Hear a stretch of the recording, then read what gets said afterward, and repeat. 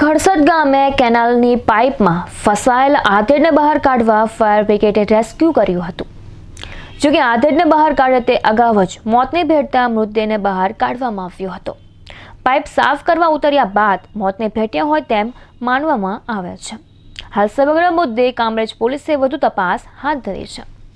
ખડસદ ગામથી પસાર થતી કેનાલના પાઇપમાં પચાસ વર્ષીય મનોહરભાઈ, ઉકરભાઈ રાઠોડ કેનાલમાં પાણી છોડ્યું હોવાથી શાળા અને અન્ય શ્રમિકો સાથે સફાઈ માટે ઉતર્યા હતા. આ દરમિયાન મનહરભાઈ પાઇપમાં અંદર જતા રહ્યા હતા, જેથી મનહરભાઈના શાળા અને અન્ય લોકોએ તેને બહાર કાઢવા પ્રયાસો હાથ ધર્યા હતા, પરંતુ તેમાં સફળતા ન મળતા ફાયર બ્રિગેડને જાણ કરવામાં આવી હતી.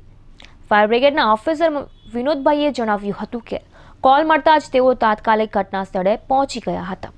પાઇપની અંદર આધેડ હોવાનું જાણ થતાં કેનાલનું પાણી બંધ કરાવવામાં આવ્યું હતું.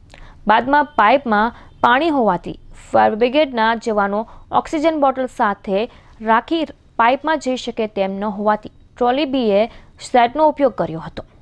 ઓક્સિજન પાઇપ છેક સુધી લંબાઈને આધેડને બહાર કાઢાયા હતા જોકે આધેડનું મોત થઈ ચૂક્યું હતું. ખરસદ ગામમાં રહેતા અને મજૂરી કામ કરી ગુજરાન ચલાવતા મનહરભાઈ ઉકરભાઈ રાઠોડના મોતને પગલે ત્રણ દીકરીઓએ પિતાની છત્રછાયા ગુમાવવાની ફરજ પડી હતી. મનહરભાઈના મોતથી તેમની પત્ની અને દીકરીઓએ હૈયા ફાટ રુદન કર્યું હતું.